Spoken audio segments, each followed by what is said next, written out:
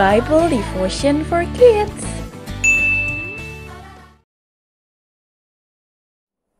Hello! Good morning, boys and girls! Good morning, SCC students! How are you?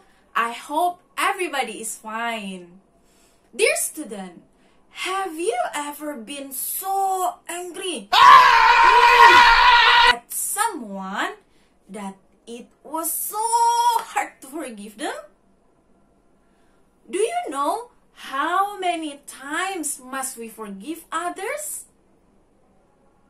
Today, we will find out what the Bible says about forgiveness. But before that, let us start our Bible devotion with a prayer. Join your hands, close your eyes, bow your head for prayer. Dear Jesus, thank you so much that we are able to get together and learn about you.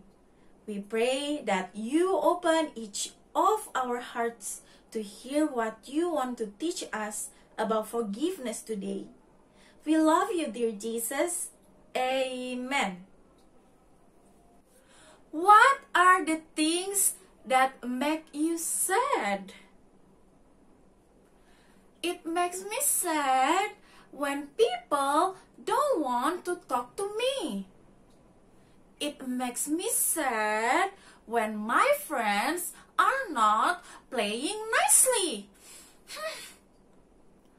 and it makes me sad when people take toys from me. Do you think can God be sad? Yes. He will be sad when we don't want to listen to his word. He will be sad when we disobey our parents.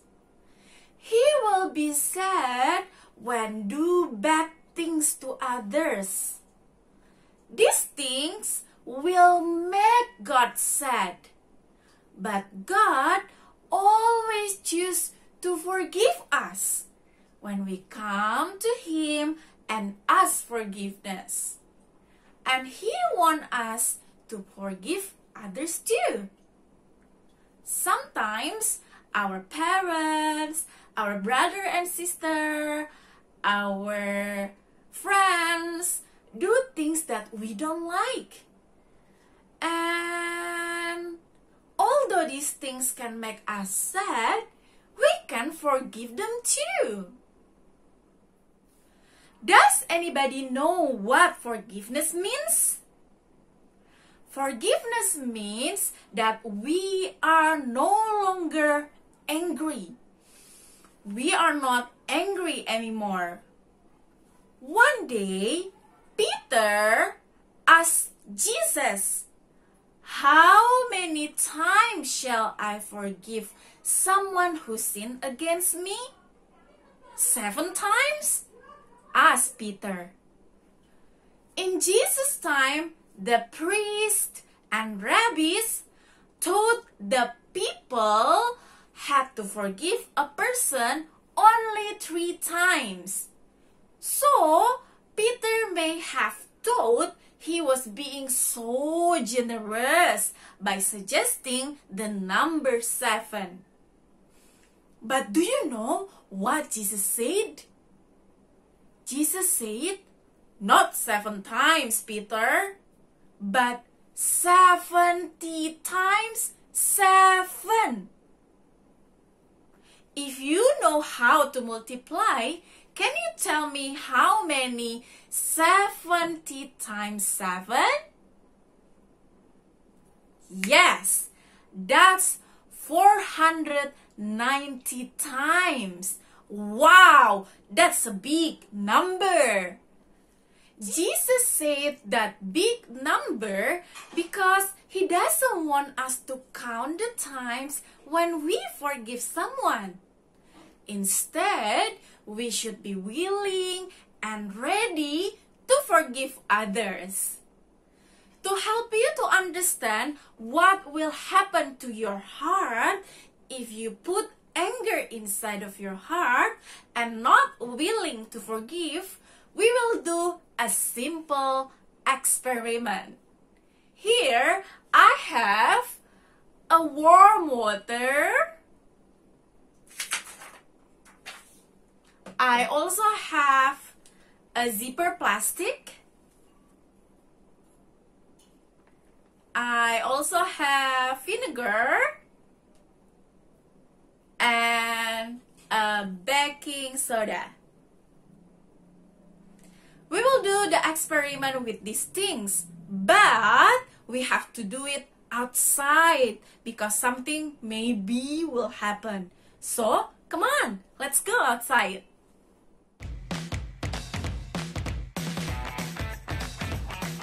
This warm water and vinegar represent our heart.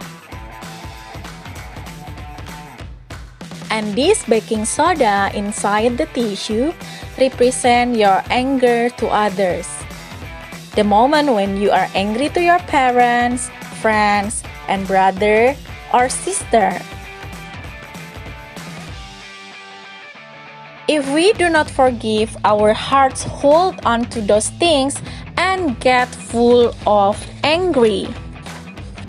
If we do not forgive, our hearts hold on to those things and get full of bitterness, and we only end up hurting ourselves. So, God wants us to forgive others just like He forgave us. When we forgive, it takes away all the bitterness, and our hearts can be clean, full of joy and peace. That's why Jesus asked us to forgive other 70 times 7 means over and over and over again. That is our Bible devotion today. I want to invite you to sing together with me. This is a special song because you can learn the sign language. Come on, let's sing together with me.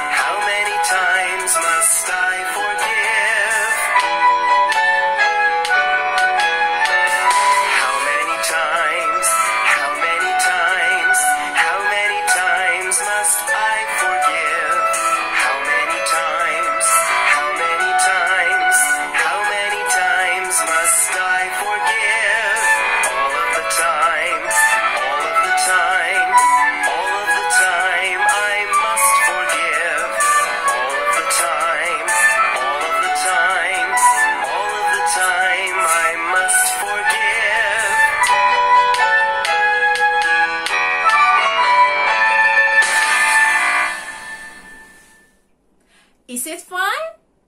Bible activity for today is you may sing that song together with your family. You can also do the experiment to remind you about forgiveness.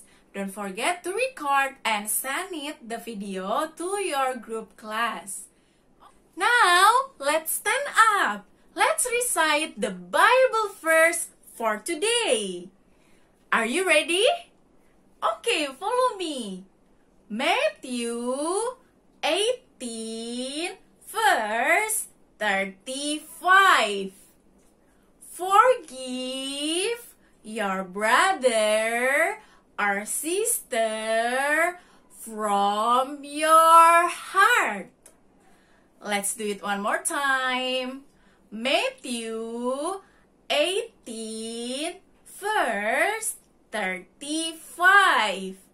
Forgive your brother or sister from your heart.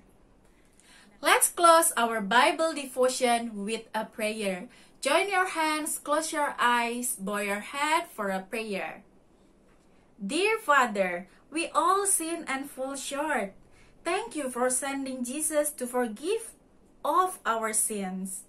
Help us to forgive others the same way, over and over again. In Jesus' name we pray. Amen. We have the mind of Christ, and all of our steps are according to the mind of Christ. Shalom. Bye bye. Thank you. God bless you.